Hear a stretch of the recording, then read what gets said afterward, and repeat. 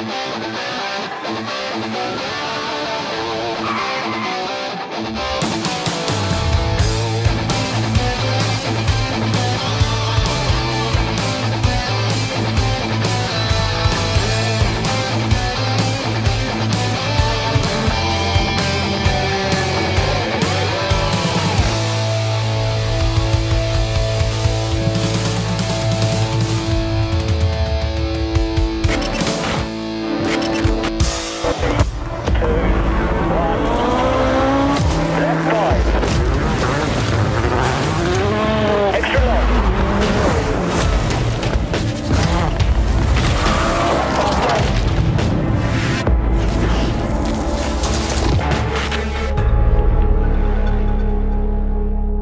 2020 is going to be remembered as the year that it all went a bit mad.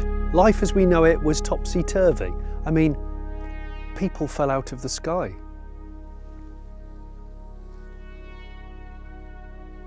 But more to the point, if you're a brand, you just want to stay afloat, you just want to make things and sell stuff by the volume. And Toyota is no exception to that rule. It's good at making lots, millions in fact, really sensible, reliable product. Apart from this one. This is the Toyota GR Yaris. The Yaris is a sensible name for a sensible car, but the, this car shares nothing, nothing really, with the Yaris that you and I know and I'm almost certain that it won't make any money for Toyota, and that's why I love it already, having not even driven it yet. I'm Jonny Smith, this is the Late Brake Show.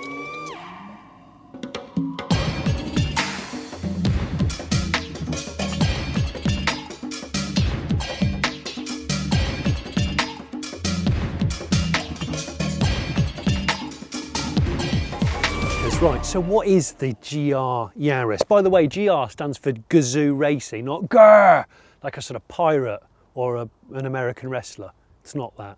Gazoo Racing run the World Endurance Racing, so Le Mans, they've, they've just won Le Mans again this year, the third time.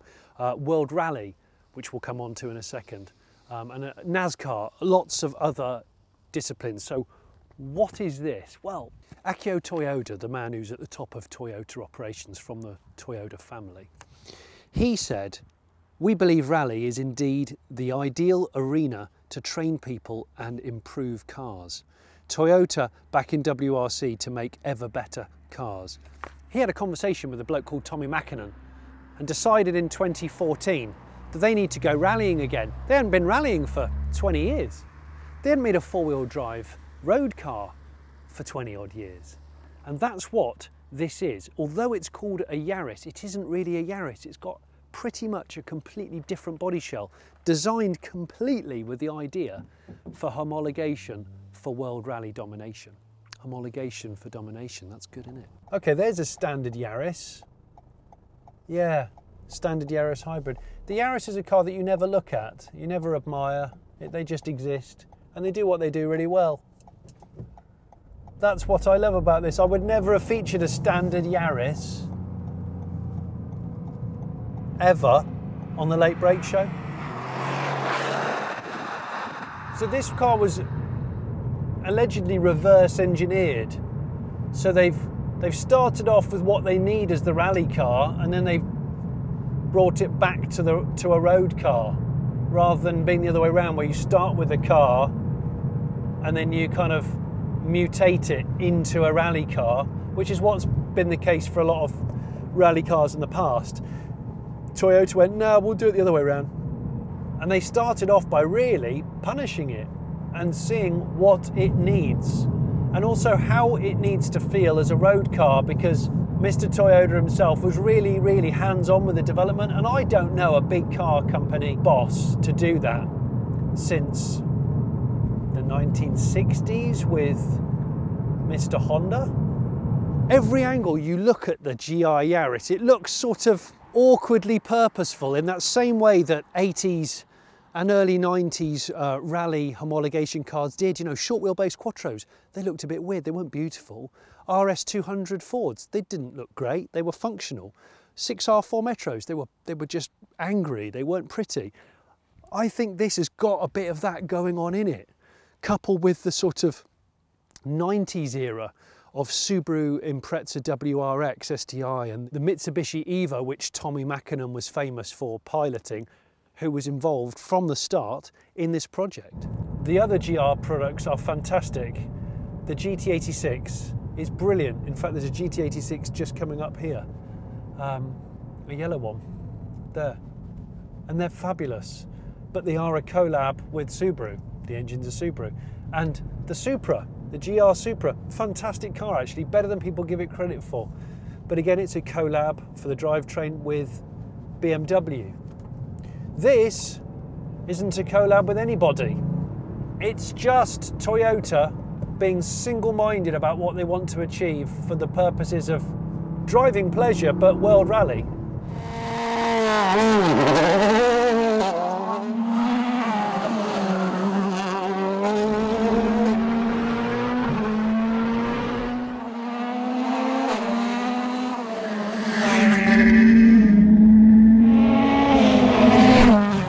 So Mäkinen, based in Finland, who runs the, the World Rally team, he came on board.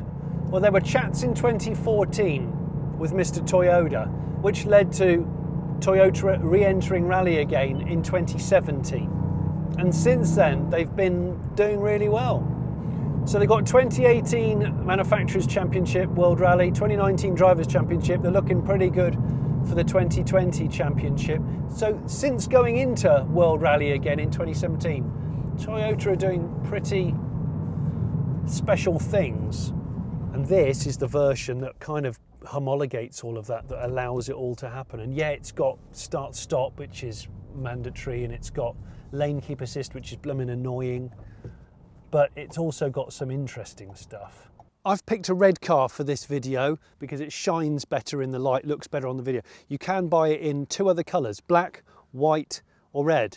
I actually think the white looks best because there's lots of cool black bits. Okay, so the front end. This black, really quite square, oblongy mouth is shaped like this because that's the exact shape of the radiator, says Toyota. So that allows really efficient cooling. It's actually quite square given the rest of the car is quite aero. And then at the side here, you've got these ducts which go straight through, and these are real, these aren't fake. You know, a lot of hot hatches have fake winglets and stuff. There's nothing fake on this. This goes through to help cool the brakes, uh, and also in there's the intercooler. Okay, there's the heartbeat of the operation. Now, Toyota says that this has been designed, this is a 1.6 three cylinder turbo, ball bearing turbo no less, and the spec is, the detail is just bonkers, and that's because it's been designed to comply with WRC2 tech regulations. So it's a, it's a real motorsport bred powertrain, and rare that it's a three cylinder. Well, here's some details 257 brake horsepower, 265 pounds feet of torque, which is 360 newton meters, but this is where it all gets so geeky. It's got lightweight pistons with wear resistant rings, spherical chambers uh, in the pistons to develop to suppress turbulence, so they're a bit odd. Piston skirts with low friction surface treatment resin, and they've also been shot peened. Thinner outer block walls, block and the crank rigidity has been optimised. Two timing chain covers, shallow water jacket block uh, for bore sealing enhancement concave radius camshafts, high strength conrods, ball bearing turbo, like I said, to spin up uh, quicker and be stronger with abradable seals, uh, bigger valves, eccentric valve seats, uh, bigger valve exhaust valves that is, enhanced cooling with drill path construction between the cast iron liner bores, uh, high tumble flow intake ports, I'm not entirely sure what that is, I have looked at the diagram. And I still don't know. Increased pressure uh, with, uh, with good cooling throughout, so yeah, it's obviously it's, it's, intercooled. It's got direct and indirect injection, the angle and the pressure has been altered for direct injection. So it's 35 mpg car apparently, but yet has all that power more used to being seen in like a two litre turbo than a 1.6 with, with three cylinders, not four. It's great when Japanese manufacturers like go full Japanese with the attention to detail. Minutia.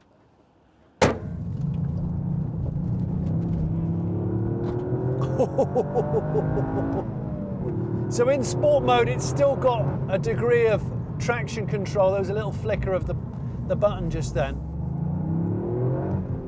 low sun, do me, me climb dance Ari Vatanen moment. The urgency of that turbo is amazing, considering you're only in a 1.6 triple and we're over some hellish undulating back roads here. And I have to say, it's a firm car, which you'd expect for a car that's homologated, that's extreme but it's actually not uncomfortable because it's so short.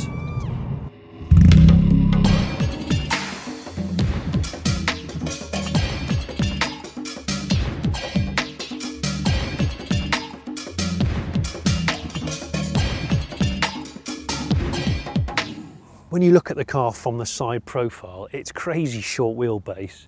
Um, and like I said before, this roofline is totally different. The shell is totally different to a normal Yaris. Tommy Mäkinen said, if I'm going to build you a proper rally car, Mr. Toyota, it's got to be the shape I want. And he wanted the roof to be even lower than this. This is nearly 10 centimetres lower than the standard Yaris, but he wanted it even lower so that you could get that extra aerodynamics here on the rear spoiler. Wheels. Now this car that I'm testing today has the optional track pack, which means it comes with Torsen limited slip differentials front and back. It comes with forged 18 inch alloys, these lovely sort of spider alloys. Again, there's this constant fight for lightweight.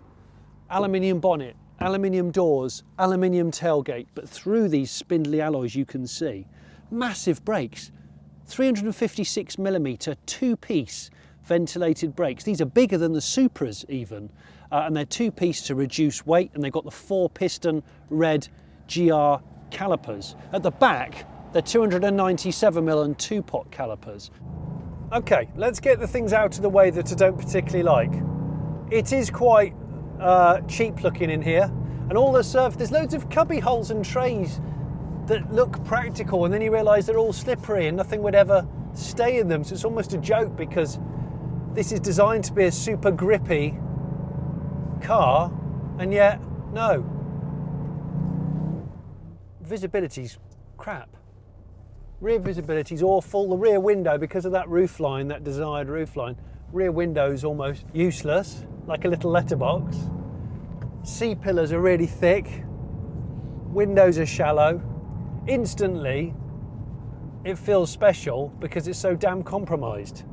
This is not great. Yeah, you, you know, this is you've got navigation uh, on here, I think. It's not great. And if you order it with the track pack, the circuit pack, which has the Torsen diffs and the forged 18s and stuff like that, um, you can't actually order it with the convenience pack, which has the head-up display and the heated seats and a couple of other bits. So you have to choose a pack. But I think if you're going to buy it, you need to buy it with the rally bred componentry, the componentry which Toyota has kind of obsessively developed for the car, like really obsessively. Behind that brake is the suspension, which is pretty good. It's MacPherson strut front end with a few additional tweaks, and in fact, the lower part of the wishbone has been um, heavily reinforced to cope with, I don't know, rallying. And then at the back, you've got a double wishbone setup with some extra uh, heavy duty bushes and things, again, to cope with more punishment, presumably. This GR Yaris weighs 1,280 kilos. The whole point of this car is to kind of lean out weight where it isn't needed. Hence, I guess, frameless doors, which just makes it ultra Japanesey. They love a frameless door carbon fibre which only Toyota could specially weave, and they say it's a special weave, but it actually looks like artificial carbon fibre, so it doesn't even look real, but it is real. That saves three and a half kilos, and obviously that's high weight, which is reduced. The fastidiousness of detail on the build of the GR Yaris is mind-boggling, but beautiful. Five and a half seconds to 62. Go on, man.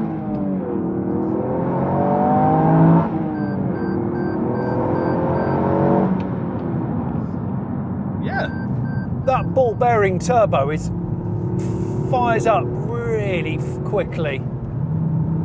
You're reaching 70 mile an hour so quickly and I know it's a cyclist.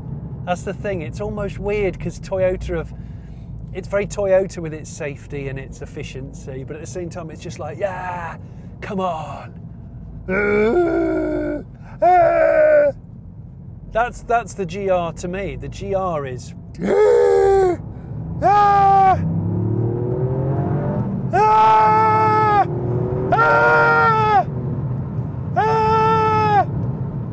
Look, that says GR4. That's not the name of the car. That's just the name of the four-wheel drive system. And this is the first four-wheel drive car that Toyota has made in some 20 years. The last one being the, the Celica GT4, which was very successful in rally. In fact, that was the last properly, properly successful four-wheel drive car for Toyota in general.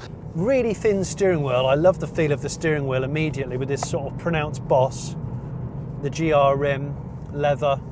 This is ultra suede on these GR bucket seats, which I think is not real suede. I think it's Alcantara. And then you've got this really super simple dial, plastic dial, which goes left for sport mode, right for track mode, and press the button for normal, which it defaults to. And they allow the torque bias of the four-wheel drive system. So 50-50 is track mode, and apparently that's the sort of thing that you'd use in sort of gravel and snow, I guess, or if you're really on it on a circuit. And then it defaults to 60 front, 40 rear. Hello! It almost sounds a bit like an Audi 5 cylinder when it's really raving. Red line's at 7.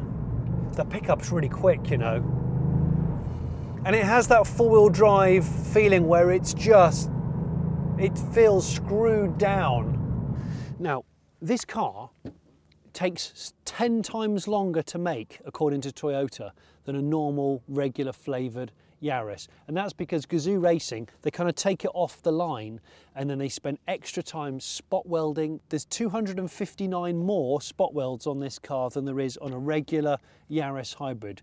So for your pub quiz, you might want to know that there's 4,175 spot welds on the shell of this car. As I said, the shell is not the same as any other Yaris shell. It's bespoke. So much attention to detail has gone into the controls on the Yaris, which don't have any resemblance on the normal Yaris controls. For a start, it's got an aluminium steering column and coupling. The feeling of the electro um, electric steering is has been very carefully calibrated, and it is quite heavy actually. I like it.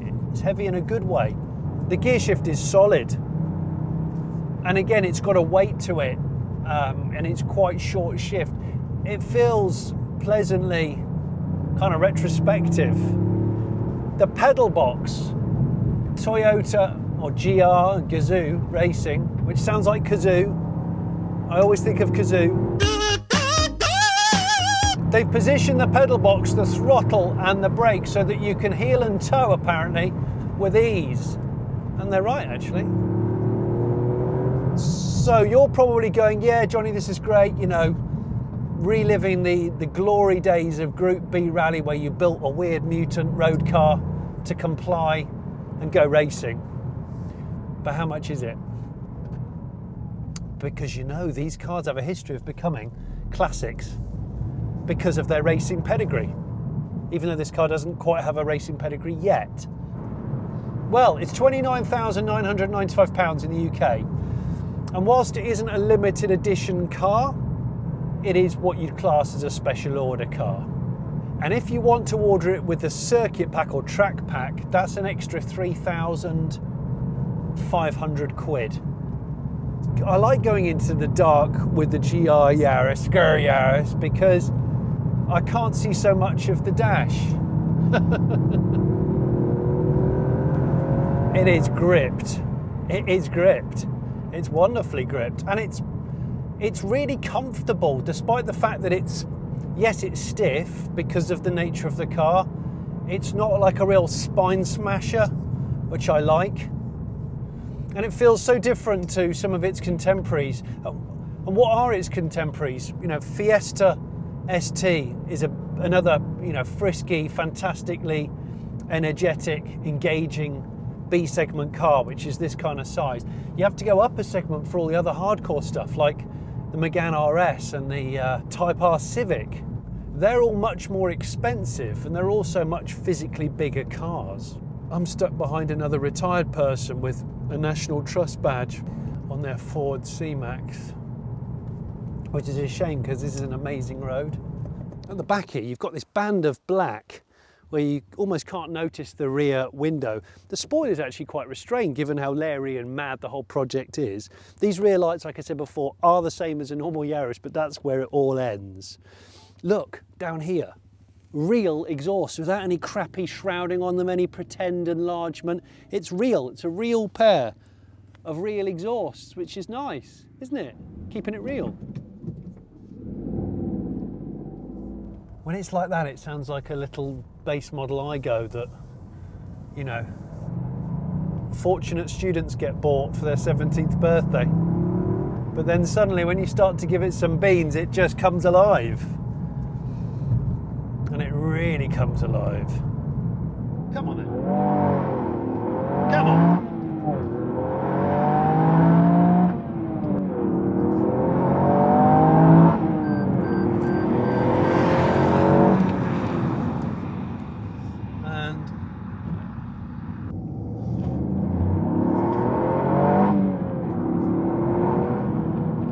People that believe, myself included, that a car like this you get more satisfaction out of in a country like the UK than you know a bigger, more powerful sports car.